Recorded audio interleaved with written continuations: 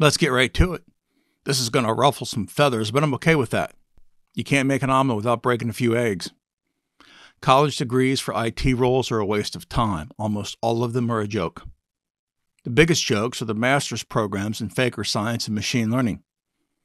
Let's start off with a well known fact about machine learning in the real world.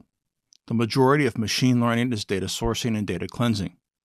That current number is around 80%, and I think that's very low. Now, this isn't something I've made up. This is a well known fact and it's been around for a long time. So, if data sourcing and data cleansing are 80% of the job of a machine learning engineer, can you show me a college program where 80% of the training is data related?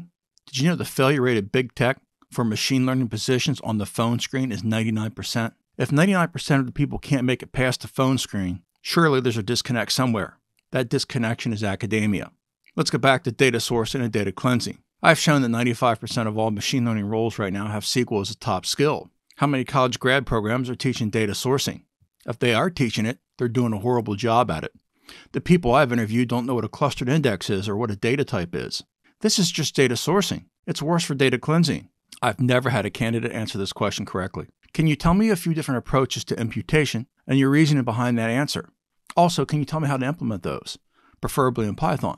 Removing missing values, imputation, is one of the easiest and most fundamental things we do in machine learning. If you don't know what that is or how to apply it to your data set, how are you going to do the more advanced things? Psst, you aren't. If you're getting a degree at any level, and you think it's a ticket to a high paying job in machine learning, I'd seriously recommend some antidepressants in your future. If you don't know how to source and cleanse data, then you can't do 80% of the job of a machine learning engineer, and companies aren't going to hire you.